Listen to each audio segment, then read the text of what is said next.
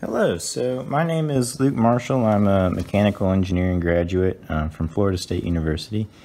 And this is my window uh, robot that I made. Um, and I thought I'd kind of show you uh, some of the things that I did and, and, the creative thinking process that went into it and uh, tell you a little bit more about it. So um, I used an Arduino Uno, I think it, it wasn't a knockoff because I got it on Amazon, but it's not the Arduino brand.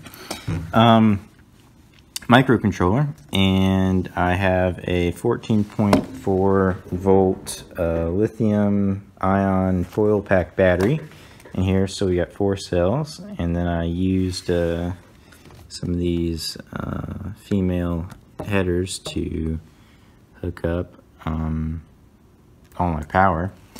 Uh, so this vacuum motor came out of like one of those um, Dirt Devil things that had a single cell uh, lithium battery in it.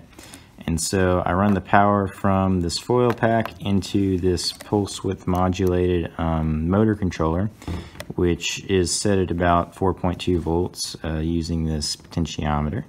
And then that powers the um, fan motor. And then I also uh, run power down into uh, these motor controllers down here. And so this is the, I think, I forget, they're ubiquitous on Amazon and eBay and whatever, but the little Arduino motor controllers you can get online. And that takes in the 14.4 or about volts from this foil pack, and then it distributes it to these two gear motors. Um, with encoders attached depending on how fast I want it to go. I think the, uh, the gear motors are rated um, for 65 RPM.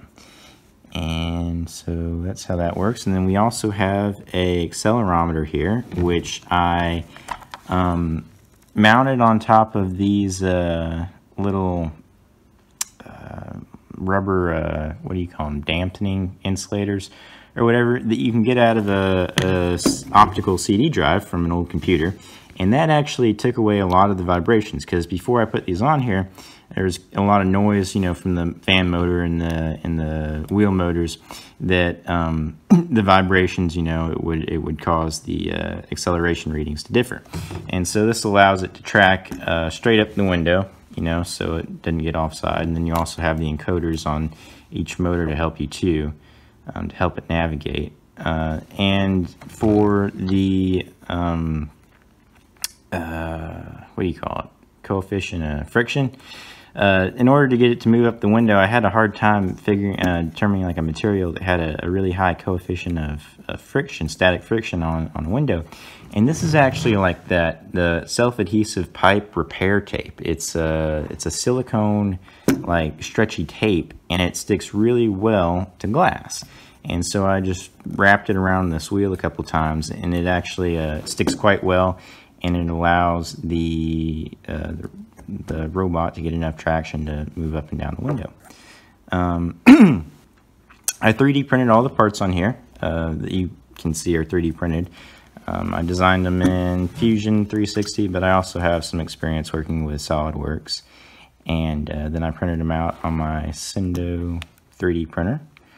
Um, and uh, that's uh, trying to think that's about it uh, just working on the window here in a little bit one thing that I didn't actually get to do um, just due to time and, and, the fact that I'm kind of wanting to move on now is uh, I had initially planned to put um, limit switches on the front here so it would know when it got to the edge but um,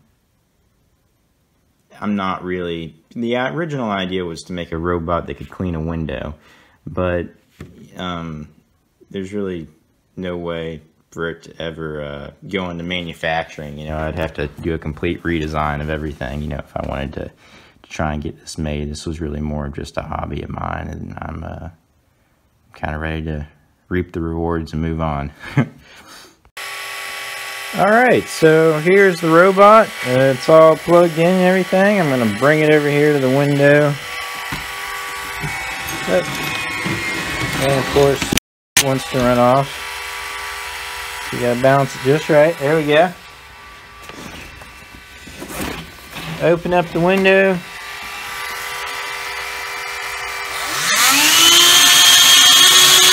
Turn the motor on.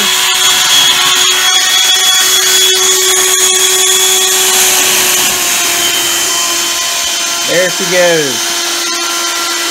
Up the window.